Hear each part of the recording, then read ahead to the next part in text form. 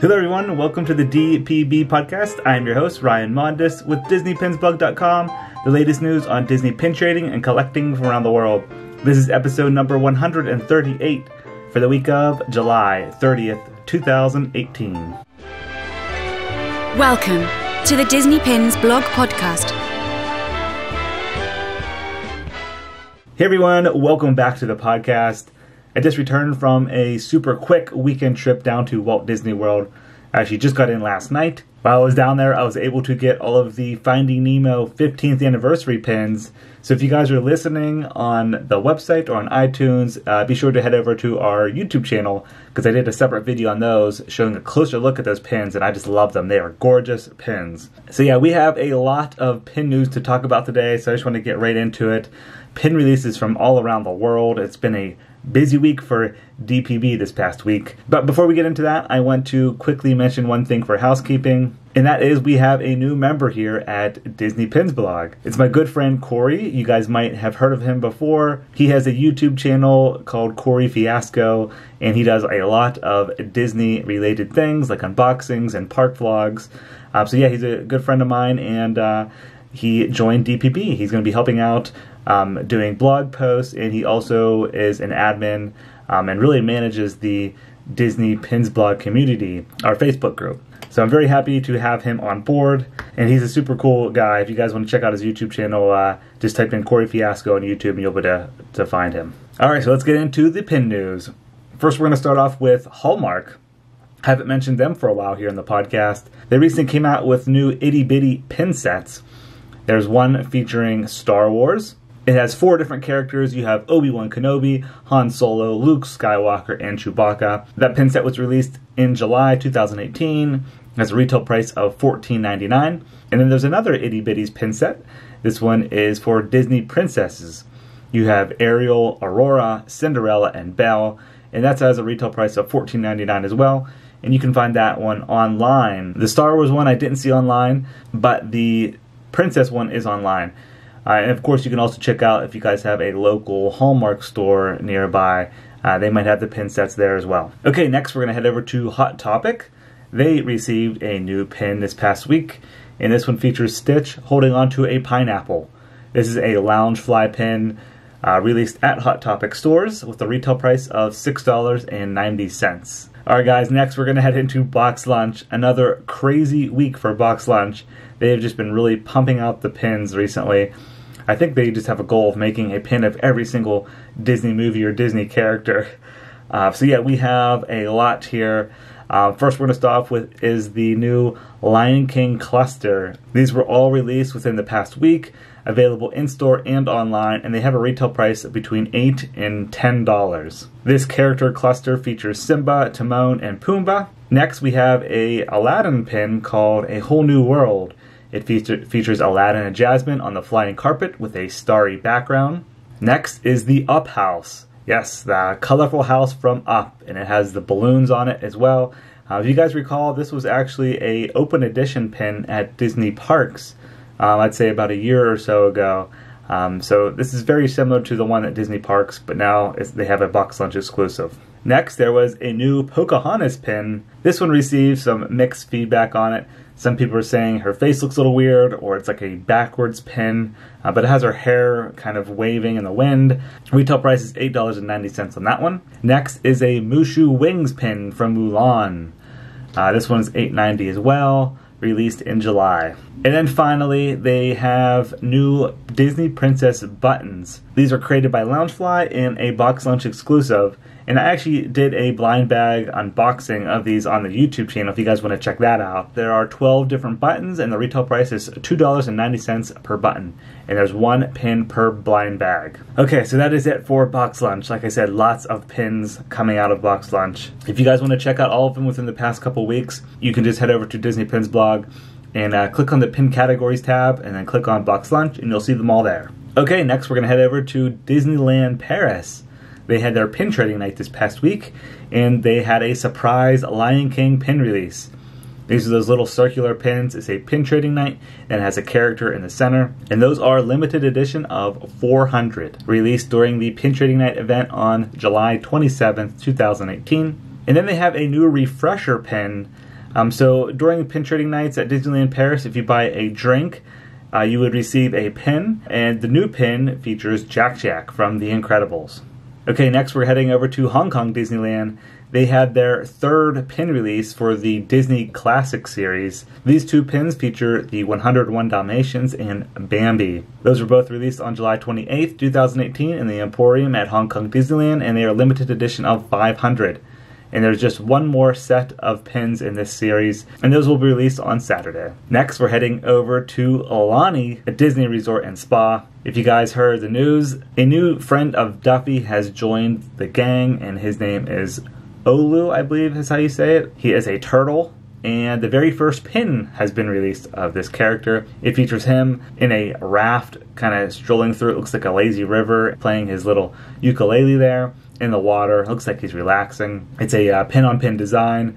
A very colorful pin. And that was released on July 28th, 2018, along with all of the other merchandise of this new character. Next, Disney Cruise Line had some new pin releases. Keep an eye out on the blog because we're going to have a few others appearing here soon, but I wanted to mention quickly the new mystery pins.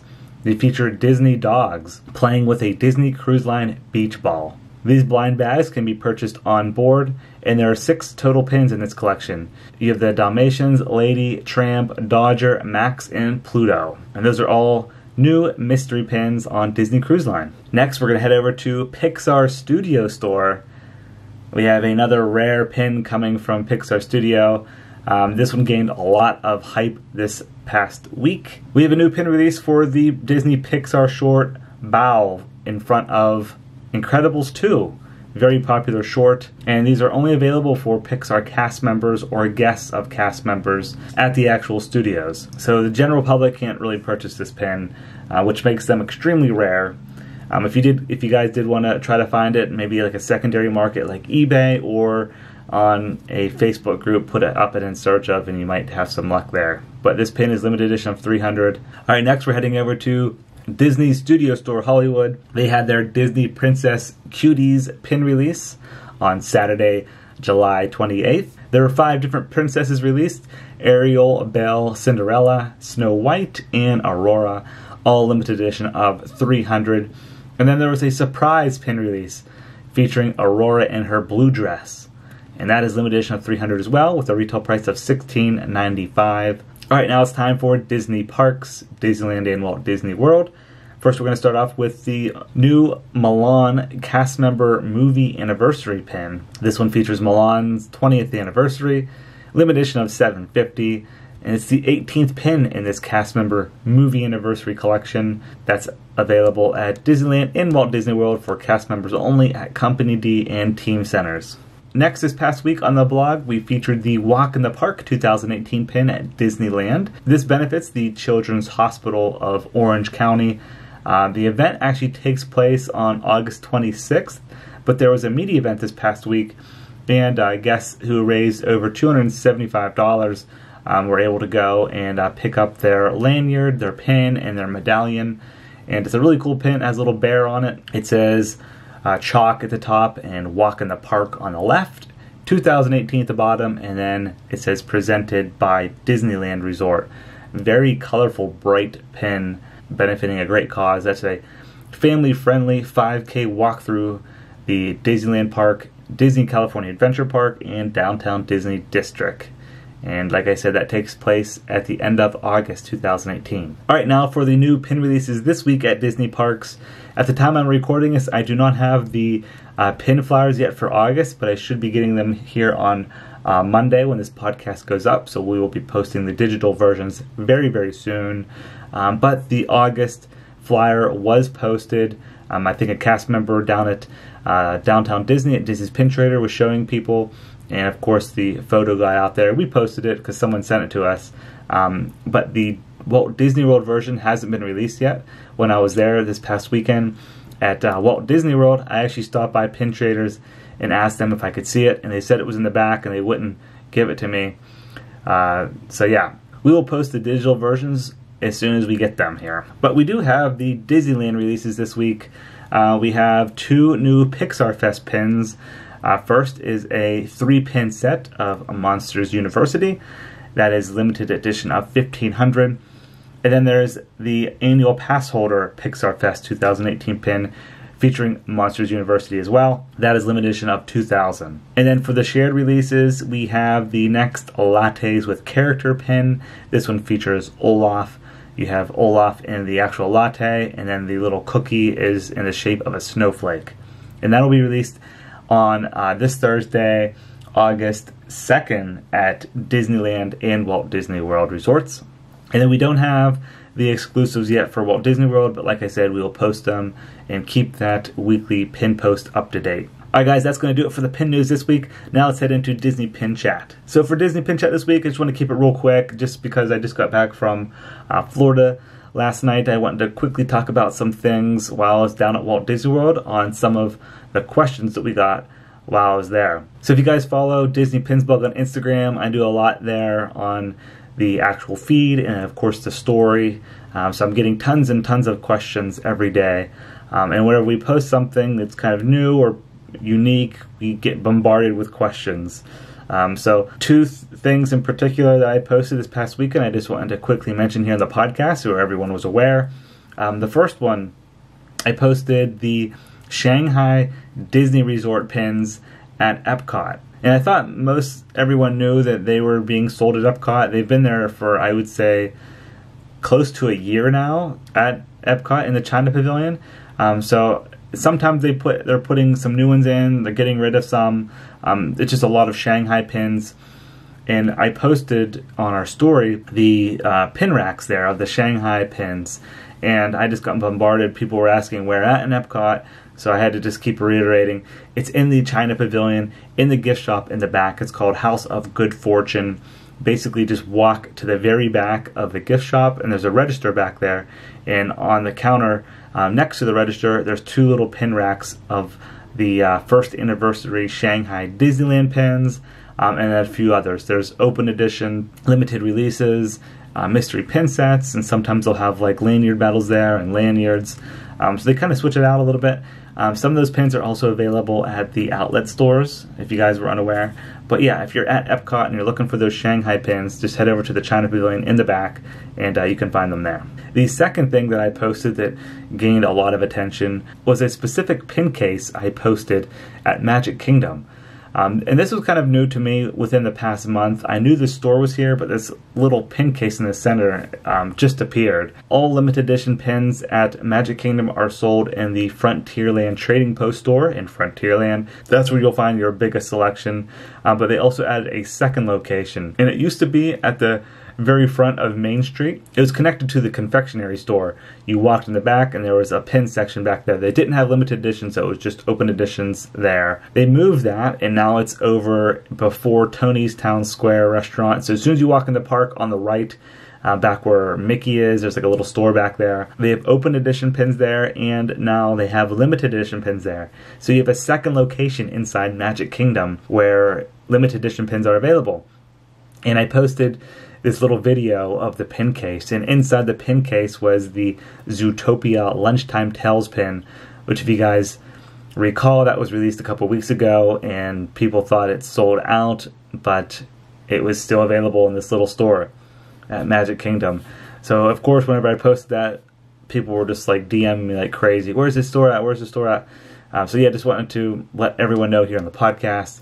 That's where it is. As soon as you walk in Magic Kingdom, just make a quick right go in that store there where Mickey Mouse is, and yeah, they have a little pin case there. They actually had the um, Lion King donut shop pin there. All of the Finding Nemo pins were there, and I think the um, Solo limited edition pins and and Aristocats, uh, the puzzle box was there as well. So, yeah, if you're looking for some limited edition pins that maybe are sold out at other places in the park, check that store. It seems like it doesn't get too much foot traffic there. And then the very final update that I want to give at Walt Disney World uh, for summer 2018 is Food and Wine Festival is quickly approaching.